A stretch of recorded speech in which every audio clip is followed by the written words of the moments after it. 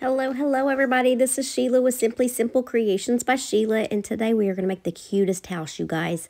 Just bear with me as we get to that part. My videos are so short um, and simple in this part that I try to, you know, I try to speed it up as fast as I can, but you have to watch a lot of painting.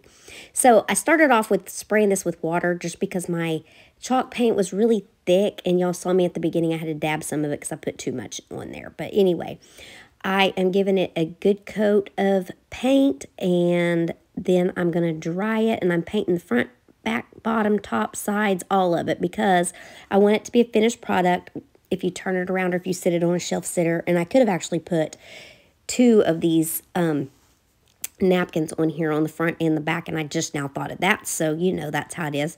Here I am painting the back and I put more water on it just to show y'all. I didn't get as much this time but I still dabbed it. But it just makes that paint go on a lot smoother. And then once we get it all cleaned up and got all of our lines out of it I um went and dried it again. I didn't make you watch that.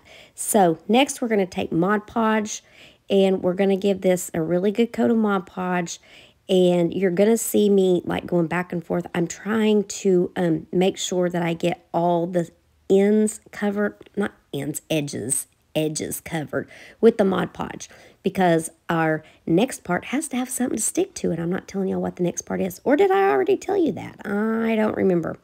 Anywho, I found these cute napkins, y'all. Look, there's so there's four of them. They're front back, and then when you open it, there's two more and I already taken the back off of it and then I put it on there. I wanted that door to be on there completely. Um, so I'm doing this in real time so you see this, the whole thing of it, and I apologize for that. I probably should have sped this part up too, but I forgot to, and then my video would have been too short because, you know, we have to have them so many minutes long.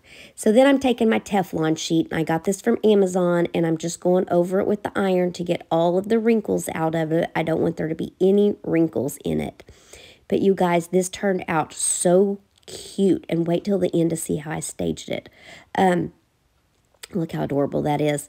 So there's extra and like I said, I could have like either wrapped it or I could have done another one on the back. But I just took my sanding sponge, or sanding block, whatever it's called, the gator. It's a gator. I got it. I got mine from Lowe's, but you can get them on Amazon. You can get them on um, at Walmart. You can get them at Lowe's. You can get them at Home Depot. Temu probably has them. Actually, I know Temu has them because Brown Eyed Girls Crafting got some from there.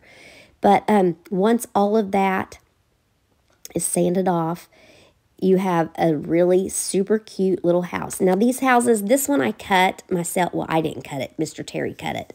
But um, he cut it, and that is what we have. And look how cute that is.